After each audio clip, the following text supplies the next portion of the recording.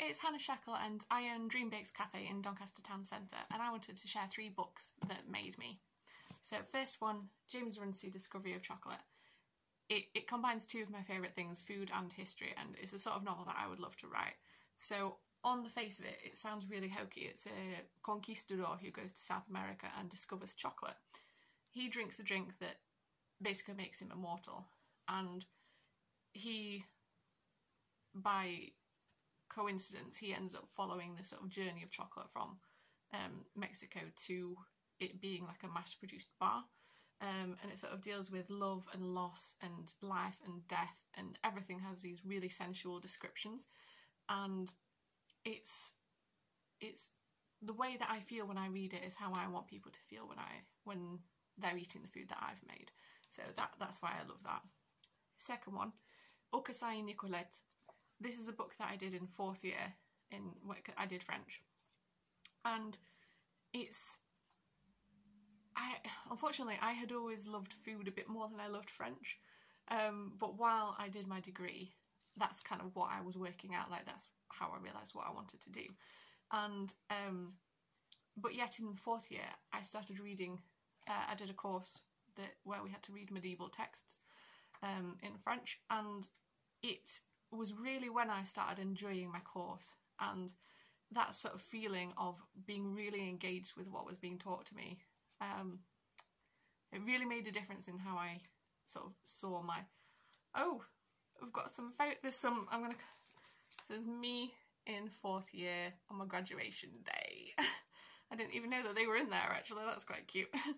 um, and yeah, I think it's really interesting to see that um, there's this side which is the medieval French and this side is modern French, and it's really interesting to see how um, it progressed. And then my final one Kafka on the Shore by Murakami. It is a weird book. It's a weird book. Like most of Murakami's stuff is. Um, but it really kind of sums up this point in my life. So in my third year of uni, I was working in a patisserie in Nice. And so I was up early, but then by three o'clock, I was lying on the beach and relaxing, napping, talking to people.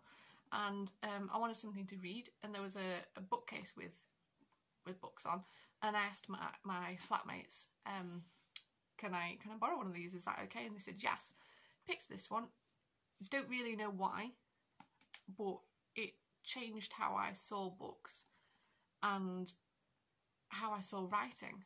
Um, I don't know if it, like I could read any writing of Murakami's and it puts me into this meditative state, even when it's shocking, graphic, disgusting. Like this there are some pa uh, passages in here that are about um, dissecting animals and things like that. Even when it's super weird, like IQ84, it just it chills me out. And like I say, it's like a form of meditation, and it changed what my perception of writing was.